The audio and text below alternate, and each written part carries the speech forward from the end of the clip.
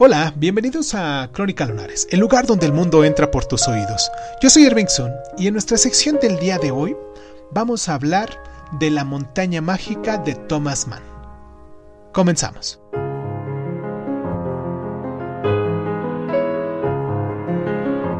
Decimos que la espera es larga.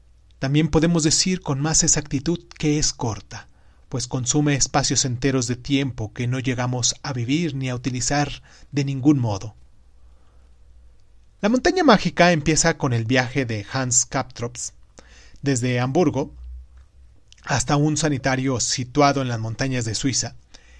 Y las primeras tres semanas de lo que se supone una visita temporal pasan como dolorosa lentitud, pero Kastrop queda muy pronto seducido por una vida repentina de los pacientes, que parecen víctimas de un extraño hechizo.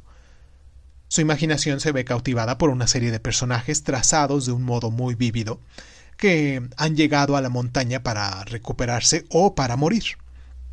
La novela se sitúa en la tradición de la novela de formación, y aunque Castrop no será iniciado en el mundo de la acción y de los hechos, los clamores de la inminente guerra mundial quedan muy lejos de la tranquilidad del sanatorio, sino en el mundo de las ideas.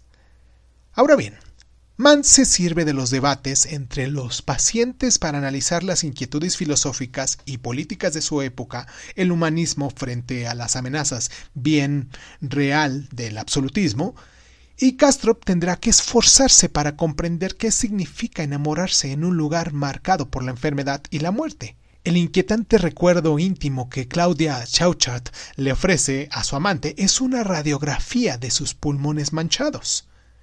A medida que él va aplazando sus planes de regreso al mundo que queda más allá de la montaña, y a medida que las semanas se convierten en meses y los meses en años, parece como si el tiempo se hubiera detenido. Y junto a Hans Kaptrop, llegamos a experimentar la mm, intensidad de todos los momentos formativos, lo que es los trágicos, los eróticos, los mundanos, los absurdos, y de también estos siete años de sanatorio, suspendidos en un presente absoluto.